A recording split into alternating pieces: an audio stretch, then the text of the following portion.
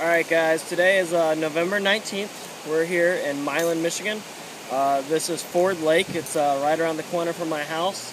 Um, four days ago this lake was completely frozen over and um, not fishable. Um, anyways, this here is a lipless crankbait. It uh, works excellent for cold water. It um, mimics the bait fish whenever it's cold.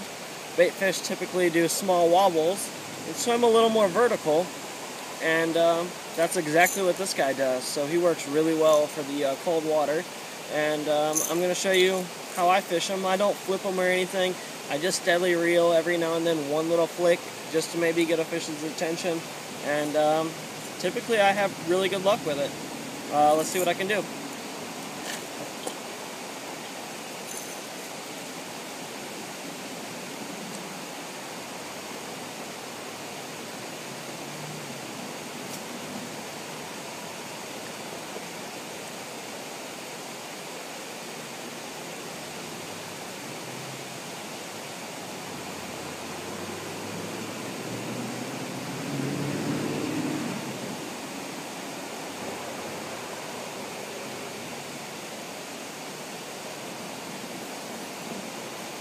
Just like that.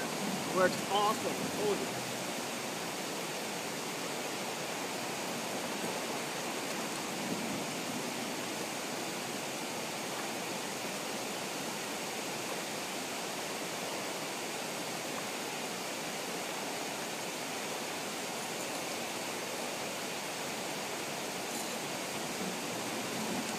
Alright guys, no trick photography or anything. You can see the lure still hanging out of his mouth.